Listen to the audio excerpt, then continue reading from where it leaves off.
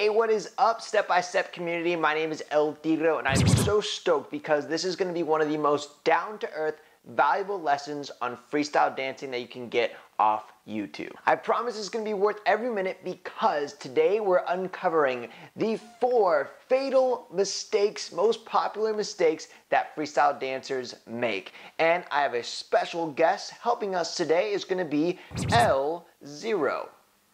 Mistake number one, being tricked out.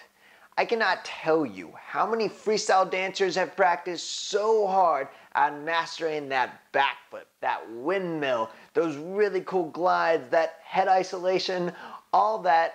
And the truth is, it's all for nothing. Because a real dancer doesn't dance by tricks, it dances by style. Here's how you can tell a dancer only knows their tricks, is because they show up they bust that trick or whatever they've been working on and they're done. Or if you'll notice, they'll start to repeat their dance moves, which is a super no-no when it comes to freestyle dancing. A good rule of thumb is don't practice tricks, practice your style, because your style can run forever. Your tricks, you use them once and they're done.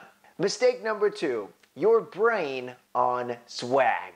I get it. You watch the step up movies. You want to be cool, part of the gang. You want to show off your friends cool dance moves. But you're really missing out on the biggest point, which is understanding the foundation and history of the dance. Okay, so I'm not telling you that you have to be a historian and learn the roots, but I am telling you instead of Googling all these fancy cool dance moves, just hop on Google and search maybe the basis or premise how the dance started or where it came from. Mistake number three rushing. I mean, why is it that you show up, you're right on time, and then you hop into the cypher, you start dancing, and whoa, holy, wait, slow, slow, slow down, whoa, whoa, whoa, whoa. I mean, what's going on here? You just started dancing, you, you gotta go somewhere? Are you late? Then why are you rushing all your dance moves? I know we get so excited, the music's bumping, you feel the groove, but for some reason, if you just let it go, your body's gonna look like it, right? You're gonna be all over the place, you're gonna be sloppy, offbeat, and your moves aren't gonna look good, you're gonna look sporadic. A good rule of thumb is when you practice, practice slow. Build technique and practice slow before you start doing fast and quick and trying to beat me late, or else you just look sloppy, like this guy. Mistake number four biting. I get it, you're inspired by Nonstop. You love Les Twins. But the problem is, the more time you spend watching them and working on that toe spin or whatever move that they're doing, then the more time you're pretty much saying, I don't want to be an individual, I just want to be a copy or look-alike. People shouldn't be watching you dance and saying, oh, sweet, nice nonstop toe spin. They should be looking at your dance and saying, dude, that's unique. I haven't seen that before. Where did you come up with that? One of the biggest expressions of hip hop is individuality and being yourself. So anytime you practice someone else's move, you're pretty much being a hypocrite of hip hop.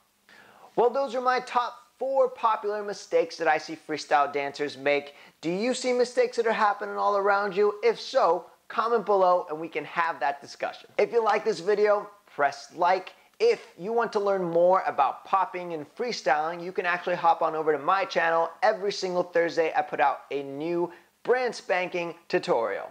I'm assuming you're already subscribed to Step by Step. If you're not, stop freeloading and press the subscribe button. I will tell you this, out of all the dance networks and channels, Step by Step, in my opinion, does it the best. The most authentic, and the people that run Step by Step are the truest. They're artists themselves. So make sure you support and comment and subscribe and just give them a ton of love. Well, it's been tons of fun. Hope you liked the video. This is El Tiro. Peace. Thanks again for watching. Don't forget to hop on my channel for tutorial Thursdays or if you just want to watch cool dance videos. Otherwise, make sure you subscribe to Step by Step. All right, you heard it. Peace.